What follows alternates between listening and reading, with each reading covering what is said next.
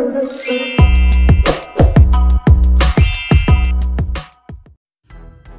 berjumpa lagi dengan saya di channel Agus Elektronika. Pada kesempatan kali ini saya ingin membagikan uh, power-power khusus lapangan ya yang mungkin teman-teman ada yang suka di bagian power ini. Dan power ini uh, menurut saya mantap-mantap semua. Dari yang salah satunya seperti ini ya teman-teman di sini uh, terdapat beberapa power yang untuk lapangan. Ya ada yang TEF uh, semuanya itu semuanya itu adalah SOCL ya teman-teman. SOCL super. Teman-teman nanti bisa sesuaikan sesuaikan sendiri uh, seperti apa uh, yang diinginkan oleh teman-teman ya. Tapi sebelum itu yang perlu diperhatikan lagi sebelum memilih uh, drivernya ya yang tidak kalah penting yaitu bagian power banknya ya teman-teman. Seperti seperti ini ya. Ini adalah elko eh, yang dinamakan power bank itu ya itu elko yang disusun eh, sampai beberapa elko ya beberapa biji elko itu dirangkai secara seri eh, atau secara paralel ya. Tergantung dari kapasitas elko nya itu sendiri. Dan kebutuhan ini untuk menyuplai atau menyetabilkan tegangan yang dihasilkan oleh suatu trafo ya rangkaian trafo. Karena kalau tanpa adanya power bank maka trafo itu tidak akan bekerja dengan semestinya ya. E, dan tegangannya pun akan drop. Oke seperti ini ya. Dan ada beberapa lagi bentuk daripada power bank ini. Contohnya seperti ini ya teman-teman. Teman-teman bisa praktekkan sendiri di rumah atau membuatnya sendiri ya. Jadi bentuk dari power bank ini seperti ini ya teman-teman. Ini yang sudah kapasitas besar ya. Dan usahakan lagi bagian elko ini harus cari yang kualitasnya bagus agar supaya eh, penyimpanan tegangan di elko ini eh, mantap ya. Dan fungsi daripada power bank ini yaitu eh, menahan ya ketika ada genjotan lepas eh, nanti elko ini akan menyuplai secara serentak ya teman-teman. Jadi tegangan itu tidak akan pernah drop e, kecuali trafonya itu sudah memang drop ya teman-teman. Jadi kalau udah trafonya drop maka meskipun sebaik apa pun powerbanknya itu tidak akan mampu ya teman-teman. Istilahnya begitu. Selanjutnya yang perlu diperhatikan lagi untuk sound lapangan yaitu e, di bagian TR finalnya ya karena TR final ini sangat menentukan di bagian hasil akhir daripada rangkaian power amplifier ya teman-teman. Jadi teman-teman bisa gunakan transistor eh, Sanken atau transistor Toshiba ya. Teman-teman bisa pilih-pilih sendiri atau teman-teman menggunakan eh, sejenis MOSFET ya. Jadi dari beberapa jenis transistor final itu eh, berbeda-beda karakter ya Eh, kalau saya pribadi uh, kalau khusus bass ya lebih suka memilih transistor uh, Toshiba ya teman-teman. Jadi teman-teman bisa tentukan sendiri untuk uh, karakternya ya. Apakah karakternya teman-teman itu mau buat power sub atau power low atau power mid uh, bisa disesuaikan melalui TR finalnya ya teman-teman.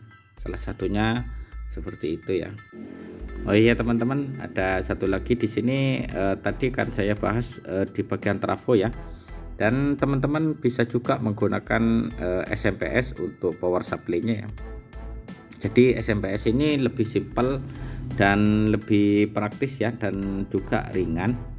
Eh, dan teman-teman itu bisa memilih di ampernya atau output voltasenya juga bisa pilih-pilih dan bisa pesan ya teman-teman jadi selain bentuknya yang ringkas juga mempunyai kelebihan tersendiri ya yaitu e, ringan. Dan untuk voltasenya itu sangat stabil ya teman-teman. Karena sudah dilengkapi dengan penyetabil ya. Jadi meskipun kena tegangan tinggi di outputnya maka e, SMPS ini tetap bisa menyuplai dengan maksimal ya teman-teman. Jadi keunggulannya SMPS seperti itu dan tidak tidak membutuhkan uh, elko tambahannya seperti power bank atau yang lain karena sudah ada di bawaan uh, eh, SMS itu sendiri. e, kalau teman-teman suka trafo ya silahkan trafo. E, tapi usahakan di ampere dan voltasenya ya teman-teman agar supaya sesuai dengan yang diinginkan.